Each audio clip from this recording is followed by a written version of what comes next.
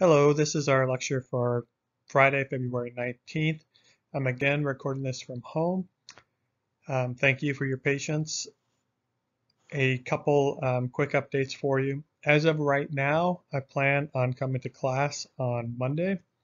That could change between now and then, but right now it's the plan. If something does change, I'll let you know.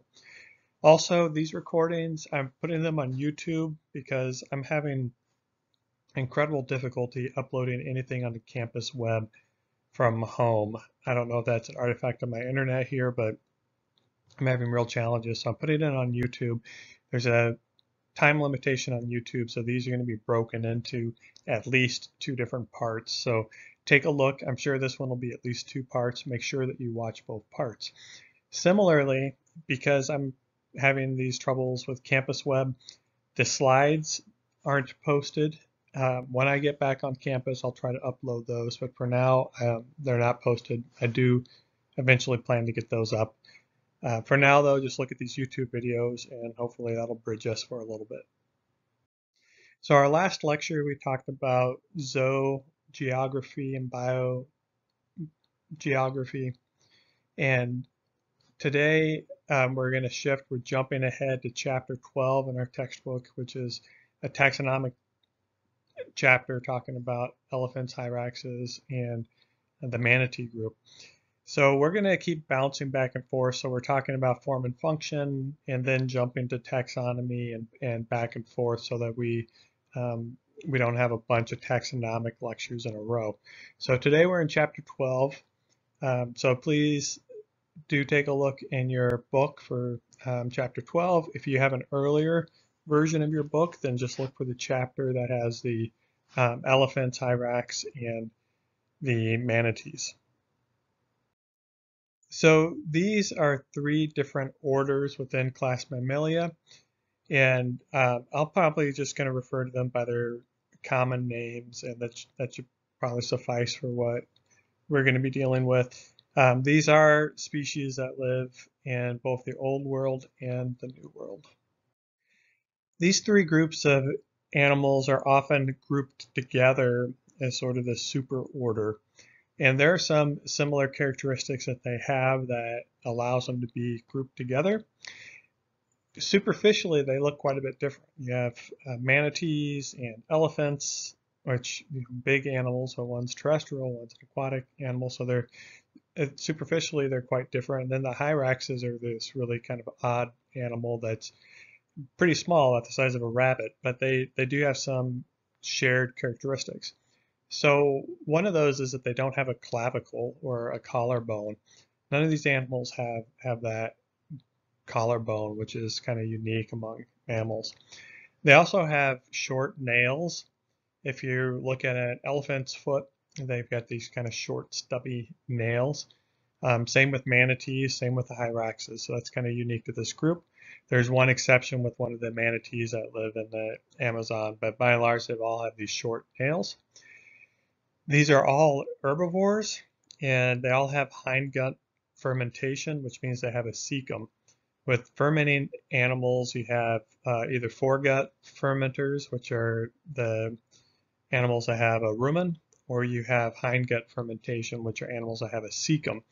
And just a, a quick refresher on what a cecum is. A cecum is this uh, a blind-ended pouch that comes off the intestine. So blind-ended meaning just a pouch that doesn't go anywhere.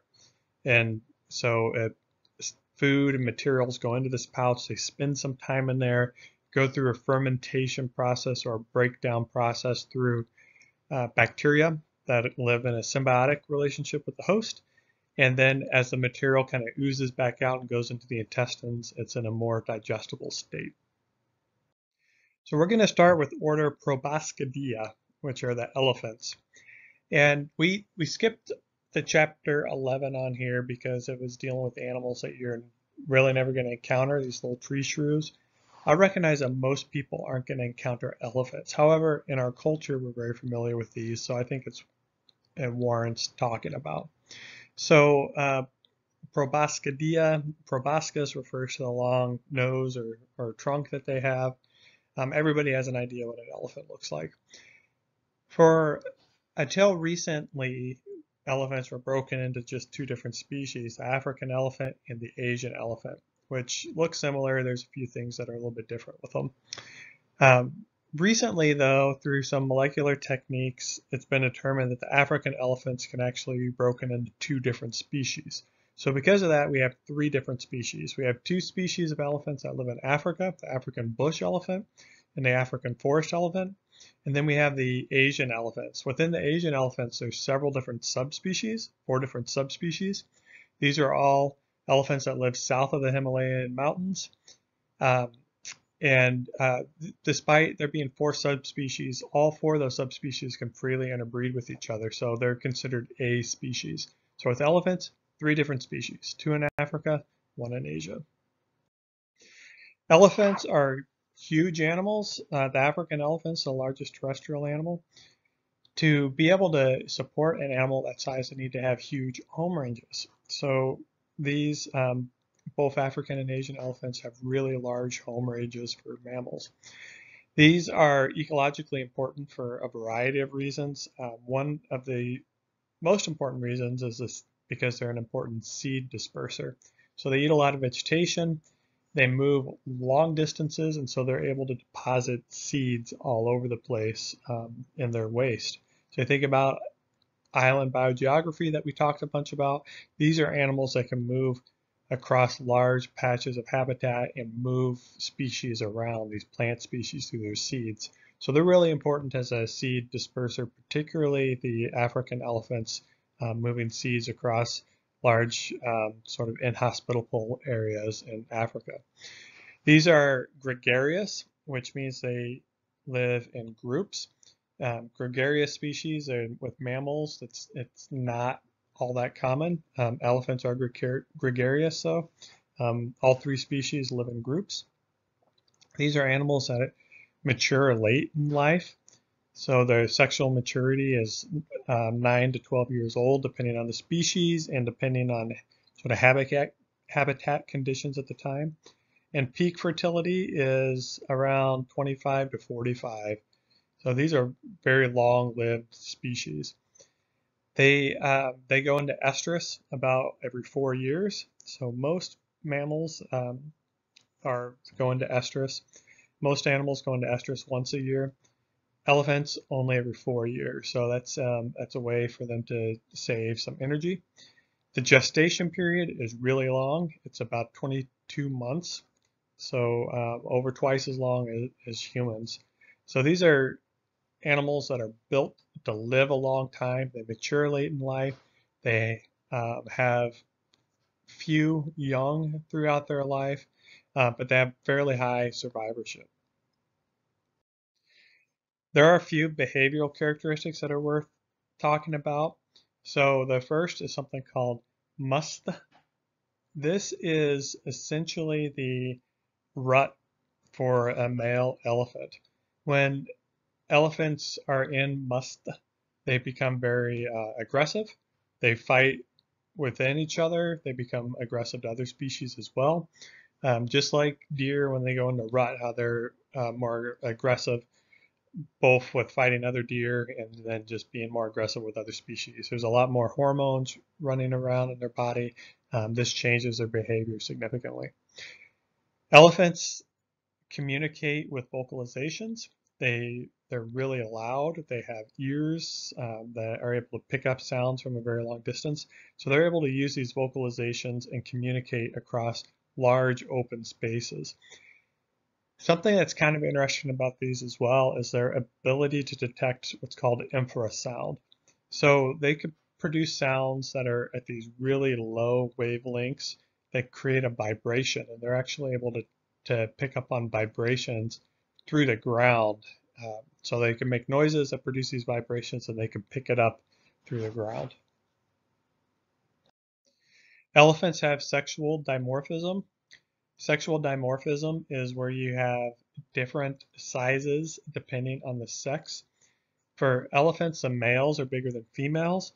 Um, uh, some mammal species, it's the opposite, but on elephants, males are significantly larger than females. And then we had talked about teeth earlier, and uh, one of the types of teeth were these lophodont teeth, Lophodont teeth have these horizontal ridges. Um, they're not crescent shaped, but actually horizontal. Elephants are one of the few species that have these type of teeth, the Lophodont teeth. The feet of elephant have some pretty unique adaptations. So this is a, a pretty cool image here on, on your screen. I don't think your textbook has um, one of these images, unfortunately, but um, if you look at the, the foot of an elephant, first you can see these nails. They have these really short, stubby nails on the foot. And then um, within the, the bones of the feet, there's a large pad that provides cushioning. These are animals that weigh several tons, and uh, so they need to have, have cushioning to be able to cushion the joints and to be able to support that large body.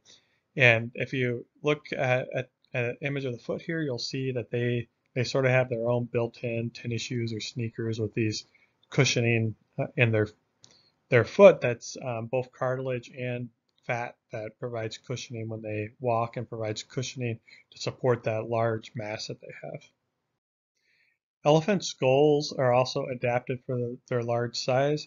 Um, an elephant skull is massive, and in order for them to be able to lift that thing up, they need to be able to reduce the weight of the skull.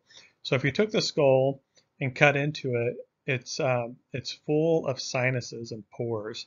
So it that reduces the weight of the skull and allows them to be able to move that, that huge head around with a little bit less energy and a little less stress on the muscles and the other um, skeletal structures of the body. That creates for a really unique looking skull.